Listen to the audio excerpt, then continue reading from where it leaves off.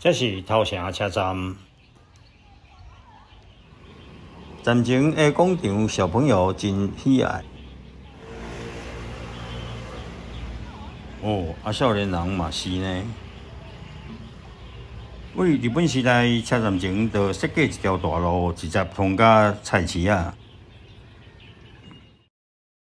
因为乌石港的货物出入。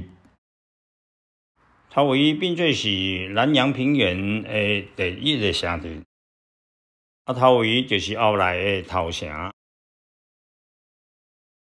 日本人来了后，开始建设头位，变做是现代的城市，包括拓宽道路做排水沟，甲着水道水卫生系统。后来头位因为港口淤塞，所以有一点仔没落。直到一九二零年，大正九年，头围车站起好了。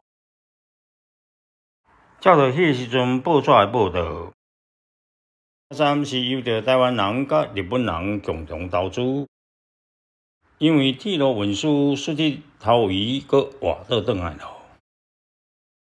然后国民党政府来，所以将着头围车站改做头城。然后改建做一座钢筋水泥的新车站，站前阁放一线蒋介石的铜像。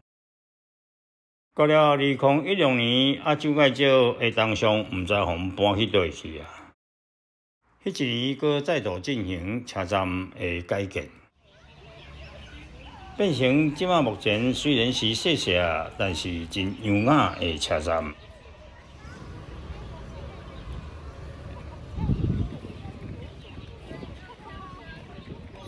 感情有地图，就知影讲你即马是伫什么所在。车站的厝顶造型有甲远远的山峦形势相呼应。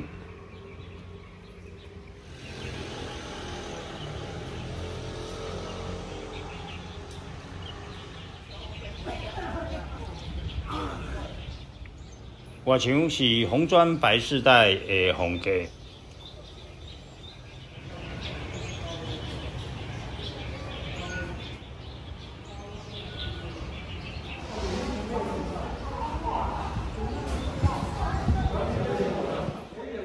内底的采光真充足，